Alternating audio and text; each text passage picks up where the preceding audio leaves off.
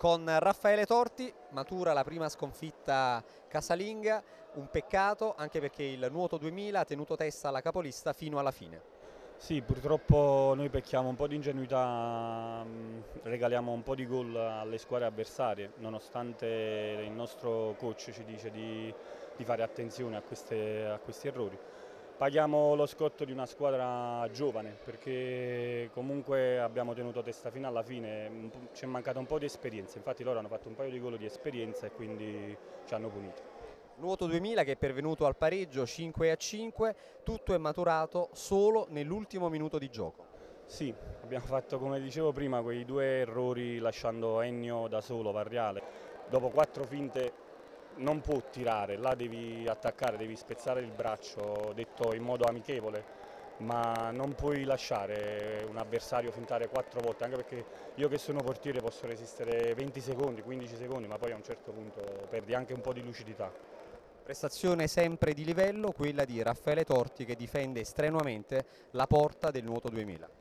Sì, io durante la settimana mi impegno facendo sacrifici, lasciando molte volte la famiglia a casa da sola la sera perché per fare questo sport ci vuole molto sacrificio e molto impegno. Poi il portiere ha un ruolo abbastanza particolare perché se non ti alleni eh, l'errore del portiere viene visto sicuramente in modo maggiore rispetto a un errore che può fare un attaccante o un difensore.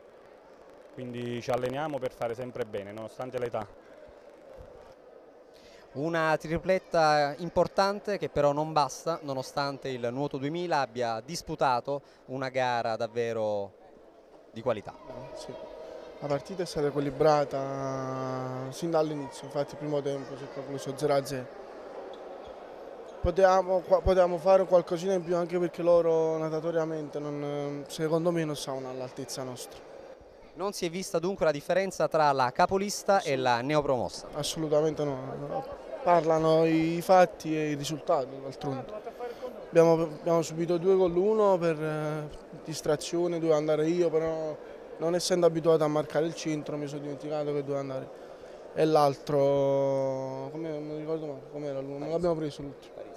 Parisi ah, che stava in contropiede davanti alla porta doveva segnare per forza. Sabato prossimo trasferta con l'Ossidiana, il fanalino di coda del girone 4. Sabato prossimo siamo chiamati a vincere per forza, anche perché possiamo vincere, siamo una buona squadra di alto livello, i giocatori ci sono, l'abbiamo dimostrato partita per partita, quindi andiamo là tranquilli per fare il risultato.